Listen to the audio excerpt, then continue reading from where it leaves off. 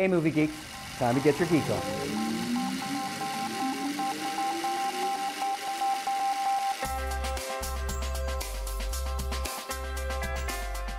I'm Gregg Easterbrook, and I'm a cinematographer, director of photography for uh, primarily features and TV, but also I do some commercials as well. 120 frames is kind of a new world for cinematographers. It's it's kind of moderate slow mo.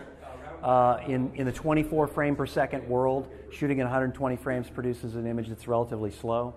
Um, a lot of the newer digital cameras will shoot 120 frames, and that's probably why Ang Lee settled on that. Um, but that's a tremendous amount of, of frames per second, so it reduces what's called image blur or blur track. So when you have an object or a person moving across the frame in 24 frames per second, they produce a, a blur across each frame that trails the movement as they move across the frame. At 120 frames per second, because the, the instance of, of photographing the still photograph that's going to become the series of photographs that you know, imitate movement, because that instance is so small, you're doing 120 frames in a second as opposed to 24, your blur track is actually substantially reduced. And so what that does is it gives you a, a very hyper real kind of look. The edges of things are very pronounced, and things don't smear as they move across the frame. They, they stay high, highly visible. You can create the same kind of look in a 24 frame or 30 frame environment with uh, using uh, lighting called strobes. And what strobes do is they, they will pulse light in per frame of the, of the film camera or the, or the camera's rotation. And the pulses match the rotation so that basically you're taking a sequence of high speed flash photographs. And, um, and so uh, using, using pulses like that or using strobe lights like that that are programmed strobes will also give you that real hard edge no blur track kind of kind of look. Um, similar to it, not exactly the same.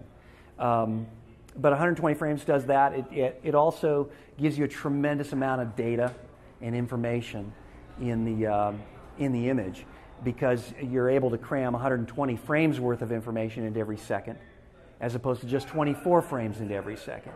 And so you get a tremendous amount of detail and you get a, a real sharpness and immediateness uh, to the image. And um, if you shoot at 120 frames and then play it back at 120 frames, the motion looks normal, but because it lacks that blur track and it has those harder edges and, uh, and all, then you get, get something that looks very surreal or hyper real.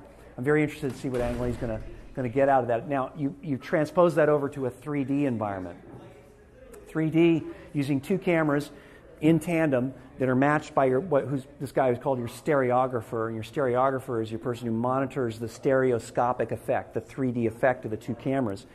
Two cameras running at 120 frames is not only going to give you a three dimensionality to the image because you've got two cameras that are slightly off axis that give you a, a little shape and presence to what you're shooting. But you're also going to get the effect of 120 frames which is really hard edges no blur track and hyper reality so you're going to get something that's I mean, it's going to be fascinating to see how, how incredibly real and, and immediate and sharp and, and saturated and solid that the images are going to be. Because there's not going to be any blur, and you're going to get a three dimensionality to them that you can't get with just a single camera. It's an exciting thing to see, and I can't wait to see it.